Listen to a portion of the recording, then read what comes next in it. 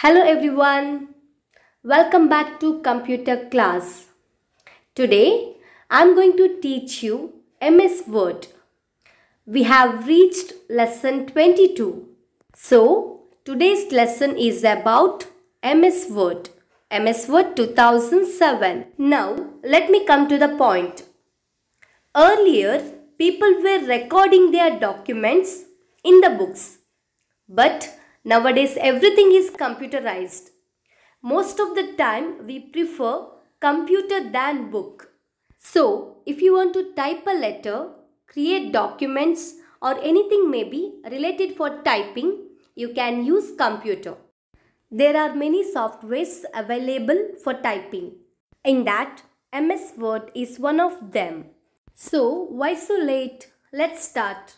Now, let me tell you the basic thing whenever you open your computer, you have to refresh it. I will show here. We have to use mouse. In mouse, you should give right click. You will find many options in that you have to click on refresh. Now everything will be refreshed. Otherwise, there is a shortcut key for refresh that is F5. In keyboard, there are many function keys. In that you have to click on F5. That is the shortcut key for refresh. Now let's continue. Now let's start MS Word. Here you can see the screen that is called desktop. The screen of the computer is called desktop.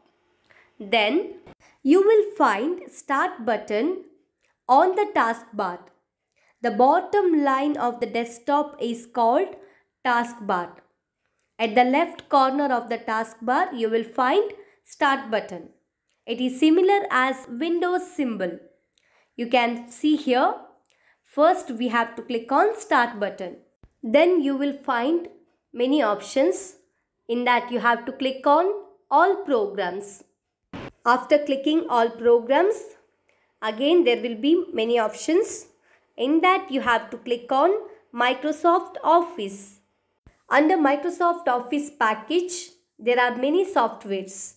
But we need typing software so that we are going to click on Microsoft Office Word 2007.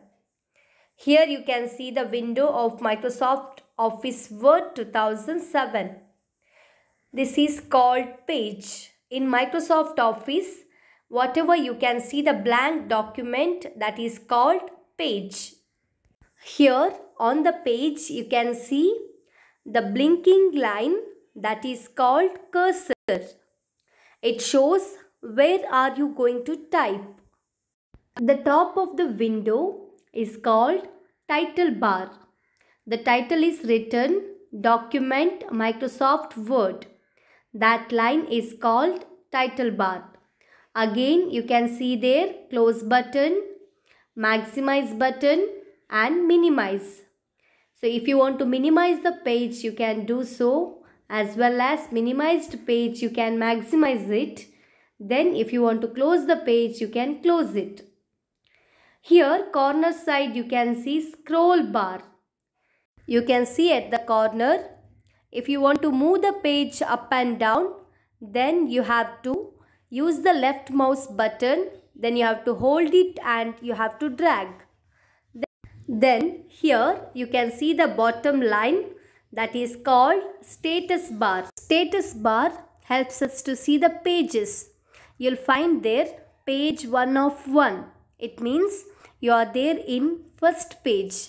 If there are many pages, it shows there. For example, 3 pages, 4 pages, whatever may be, it shows. As well as there you will find word. When you type it shows how many words you have typed. Under status bar, right corner, you will find zoom in and zoom out. If you want to zoom in your page, you can do so as well as if you want to zoom out your page, you can do that. You have to use the scroll button, then you have to drag it. Otherwise, you can click on minus as well as plus button. In, in that way, you can zoom in and zoom out. Now let me show you how to type. You can see there cursor point. There you have to click on then you have to use keyboard. Now, here I have typed two words. When you type something, if there are spelling mistakes, it shows there. What I have written the word computer. While I was writing, I have written L spelling at the end. So there is spelling mistake so that you can see there red underline. So as well as it shows under the status bar. You can see there red mark. It means you have written the spelling wrong. So if you want to correct it, there is an option. You should right click on the word. Then you will get many suggestions of the spellings. In that which word you prefer, you can choose. This is the way you can correct your spellings. If I hope you have understood till here. Now let us see some of the components. As I said just now, you will see status bar. Next you will find there view toolbar. It means you want to view your pages in different ways, you can do so. Then at the top you will find Microsoft Office button. It's very important. At the top you will find Microsoft Office button. It's very important to create a new document, to open a document which you have done earlier as well as if you want to save a document, to take a printout, for everything Microsoft Office button is necessary. So in my next video, I will explain all those things. Next one, quick access toolbar. There you will find three things. One is save button, then undo and redo. Save button is a shortcut method to save as well as undo and redo. When you type something, if you want to go back, then you can click on undo. Again, if you want to come back, then you can click on redo. Next one, dialog box launcher. There you will find different groups, clipboard, font, paragraph and styles. Then you can see there tabs, home tab, insert tab, page layout, reference, mailings, review and view. All these things are called tabs. Then title bar.